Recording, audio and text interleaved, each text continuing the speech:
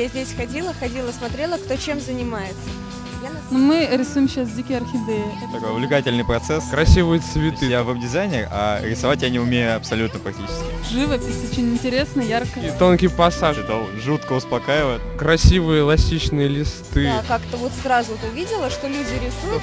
Пройти мимо невозможно. с живописью Усин. Это китайская живопись, но на самом деле она русско-китайская. Вот ее придумал русский художник Максим Парнах вместе с Андреем Щербаковым. Использует ее как арт-терапевтическую методику в работе как со взрослыми, так и с детьми. Вот. Она помогает, э, во-первых, людям, которые никогда не рисовали, перестать бояться. То есть это очень легкий путь начать рисовать. А во-вторых, э, для людей, которым интересно больше с психологической точки зрения, это как самоанализ может использоваться, как э, анализ каких-то качеств, характеристик, потому что основана на пяти движениях вся живопись. Пяти движениях кистью. Каждое из движений соответствует одному из элементов китайской системы УСИН.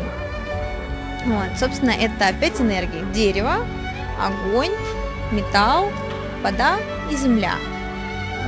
Две из них это мужские энергии янские, две из них это женские. И одна земля, то есть это, собственно, символизирует материю, на которой происходит вот это постоянное перетекание из одной энергии в другую. И каждому элементу соответствуют определенные черты характера, качества. Если в человеке нет этого качества, то есть оно не проработано, есть какой-то комплекс, блок, зажим, то человек не может сделать это движение. Научившись рисовать, научившись да, делать это движение, он прорабатывает себе соответствующие качества в характере. Ну, то есть вот таким образом это можно использовать как арт-терапию.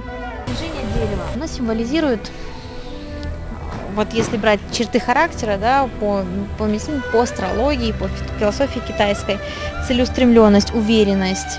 Это, если брать по временам года и календарю китайскому, то это весна, то есть это пробуждение, это мужская энергия, то есть это что-то очень сильное, такое пробивное. Соответственно, и движение идет у нас, да, такое же. Да, то есть это целеустремленность, целенаправленность. Если человек боится, да, достигать каких-то целей, если у него это не получается, если он стесняется, если он не уверен, да, то у него и движение будет не таким. То есть он не сможет сделать эту линию именно так, да, с такой уверенностью. Но проработав линию, у него произойдут какие-то изменения и в психологическом, психоэмоциональном плане, да, то есть это зависимость, в принципе, практически прямая.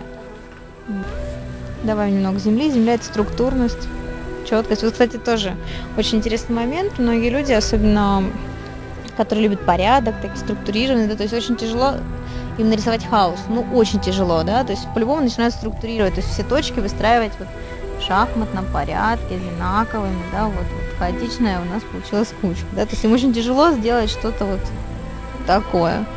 Ну, то есть, ну, научившись что-то делать, да, они иногда позволяют себе послабления какие-то в жизни, да, понимают, что иногда надо и наслаждаться, не всегда все держать под контролем. Точно так же, например, вот женственность, мягкость, умение, может быть, как-то деликатно выходить из каких-то ситуаций, да, не резко сразу все решать и злиться, да, это вот движение металла, женская энергия, плавность. Потому что металл плавкий, мягкий, ругий.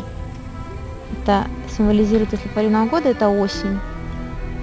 То есть время увядания постепенного, то есть такое вот начало. У нас нет запрета, все правильно. Все, что получилось первого раза, все правильно.